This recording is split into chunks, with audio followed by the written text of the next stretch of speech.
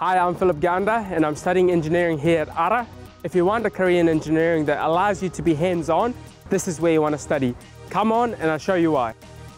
This is Kahukura, the brand new engineering and architectural studies facility here at ARA. The building is purpose designed. It houses state-of-the-art equipment. It's also a teaching tool in itself. The classes are small too. You're not just a face in the crowd, you get to know your tutor and they get to know you. At ARA, we learn by doing. So instead of sitting in lectures all day, you get to be hands-on with real-world projects. Industry plays a big role in helping shape the engineering programs at ARA.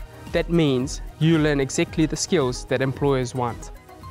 You can study full-time, or if you're already working, you can study part-time and fit it around your job or other commitments. When you study engineering at ARA, you can achieve a diploma in two years or a degree in just three. That means a smaller student loan and faster entry into the workplace. Plus, your qualification is internationally recognized, so it can really take you places. So that's a quick snapshot of engineering at ARA. If you want to find out more, visit the website or book a campus tour.